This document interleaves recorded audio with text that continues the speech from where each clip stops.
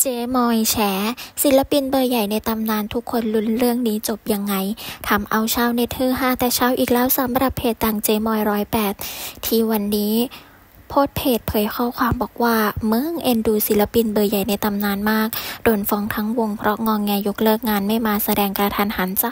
ปล่อยให้ผู้จัดเสียเงินทิ้งโดยไม่มีการแยแสใด ๆ เลย ผู้จัดฟ้องเรียกคืนค่าใช้จ่ายที่จ่ายให้วงนี้ทั้งหมดรวมถึงค่าตั๋วเครื่องบิน ชั้นธรรมดาและชั้นธุรกิจที่จองไว้ให้ 20 คน รวมค่าใช้จ่ายอื่นด้วย